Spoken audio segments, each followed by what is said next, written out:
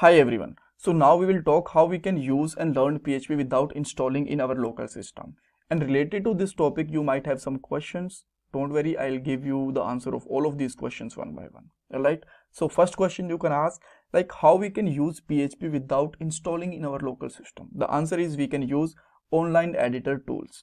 Second questions, how they are beneficial and why should we use online editor tools if we can install PHP in our local system.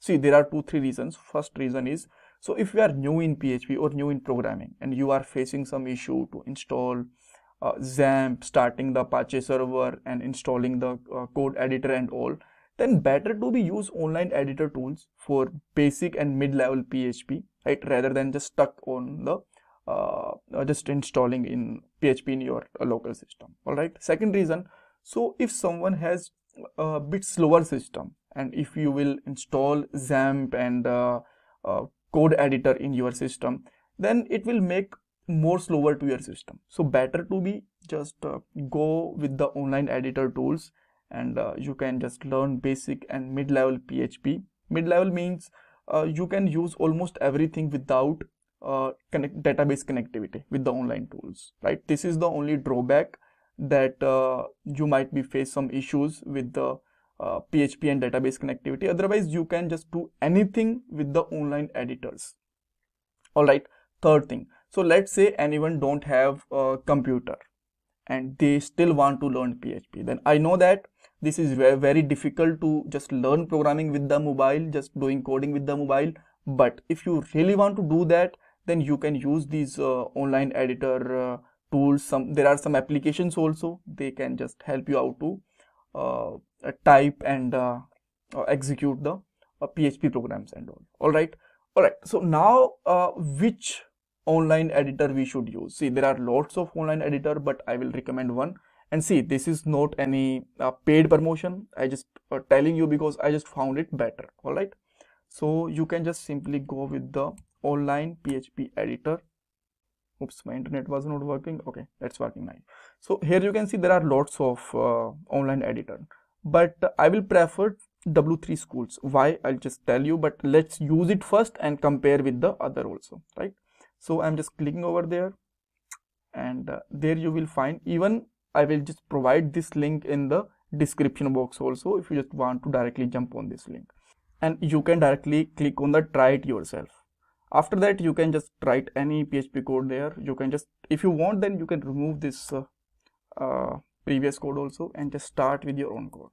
So we will just try out some variables some echo uh, and some html and php integration also all right so firstly i'm just putting there echo I'm putting my name let's say anil sidhu. Then if i'm just running it it should properly run. And here we go after that let's say let's take a variable. I'm putting their name is Anil Sidhu and painting my name there with echo. And here we go. Again this is working fine. So now let's say you want to use their h1 tag and inside this you want to use the php tag right? This is also possible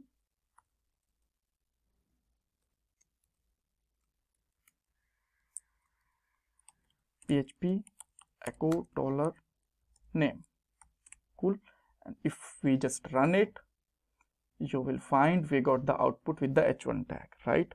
Similarly if you want to add uh, some color with this this will still work fine. So i'm just putting there color uh, style. And then color we can say that let's say red. It should work fine perfect. And next thing if you just want to make the dynamic uh, color then this is also possible. So let me just add there one more variable dollar color and let's say color is green there right?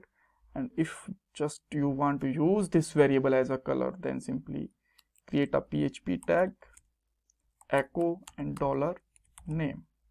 Sorry dollar color. And here we go this is still working fine right?